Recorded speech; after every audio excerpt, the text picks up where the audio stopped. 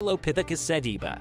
The human family tree expanded significantly in the past decade, with fossils of new hominin species discovered in Africa and the Philippines. The decade began with the discovery and identification of Australopithecus sediba, a hominin species that lived nearly 2 million years ago in present-day South Africa. Matthew Berger, the son of paleoanthropologist Lee Berger, stumbled upon the first fossil of the species, a right clavicle, in 2008 when he was only 9 years old. Number 9.